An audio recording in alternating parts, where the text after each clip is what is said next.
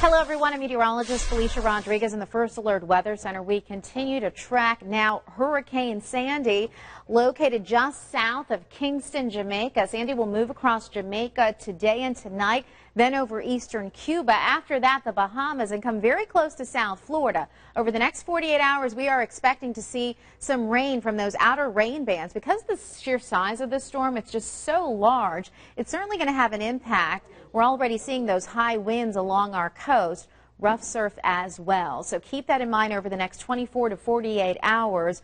The good news, the center of the storm staying offshore and it will start to move away from us come Friday night. So our weekend looking much better. But just to recap, a tropical storm watch in effect for the Palm Beaches and Treasure Coast with high winds of 25 to 35 miles per hour gusts close to 40, 45 miles per hour. Rough seas, dangerous rip currents at area beach is A big concern, too, at the beach, erosion and the potential for coastal flooding with those outer rain bands.